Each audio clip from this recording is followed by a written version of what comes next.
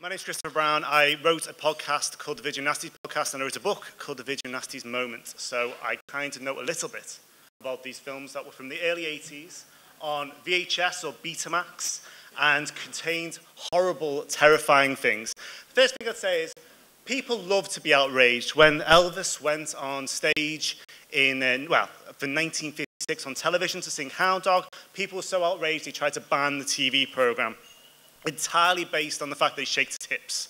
Well, here we are in the 80, 90, early 1980s, and VHS, in particular in the UK, was a big deal, a huge deal. And the reason was it gave us choice that we didn't used to have.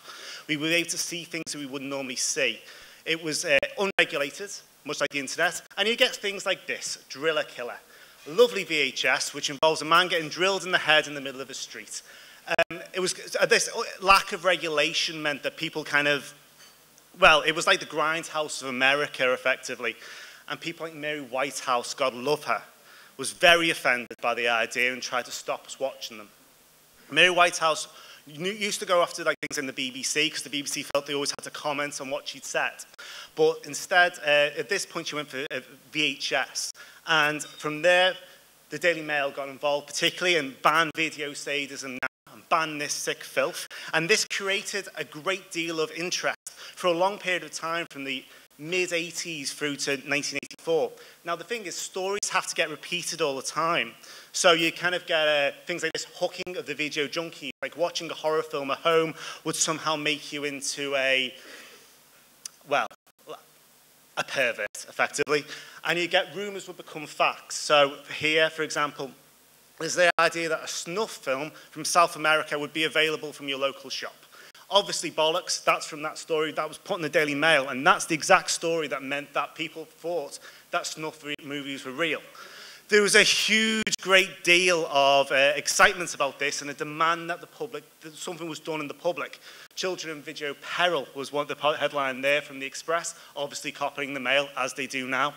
And the police seized videos and burned them. People went to court, people went to prison just for selling Evil Dead, Dr Driller Killer, Last House on, on the left. And this kind of build-up was always in constant. So this woman came and got involved. Lo lo lovely Maggie, who decides, interestingly enough, it came out over Christmas, wanted to ban sex toys because she thought they were against morality, decided that she needed to do something. And from there, um, well, there was a great deal of pressure. For example, this was a letter that Mary Whitehouse sent to Maggie, which said that she had to be slapped this is some of the more toned down stuff that was going on at the time. Because when you ask a seven what they love, they say, oh yeah, I've seen all these films, they're amazing. And films got banned. And they got banned for a long time. Um, I think people kind of forget the period of time that this kind of um, censorship happened. It happened from basically from 1984, 85, right the way through to 1999. You can get things like The Exorcist, um, Texas Chainsaw Massacre. And I think it's kind of changed the way we see films today. Um, there's a lovely 18 certificate there now, and I think people kind of assume that things are a lot better now. So, so what? You know, what? It's all different now. We're kind of a, a liberal society, excited and, and, and, you know, not really that bothered about, you know, what, what, what's happening. I mean, certainly, you know, you can see anything on the internet now. Well, that's kind of true, but there's this bloke who's a bit funny about what he's like. Well, he's a mini Thatcher, isn't he, in a, in a lot of ways, or at least he tries to pretend he is. So there's always an, an attempt to kind of cut back on people's um, wish or to, cut, to censor.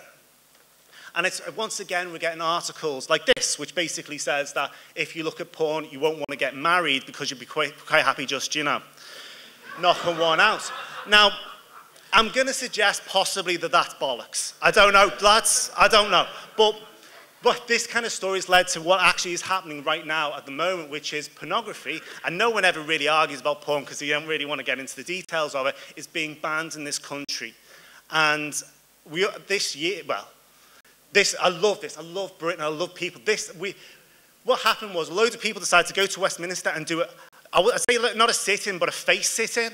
So loads of people lay on the floor and they kind of sat on their faces.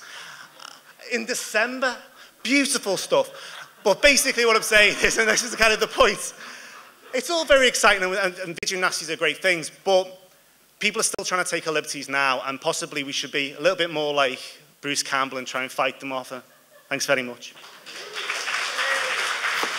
I'm all shook up. Mm -hmm.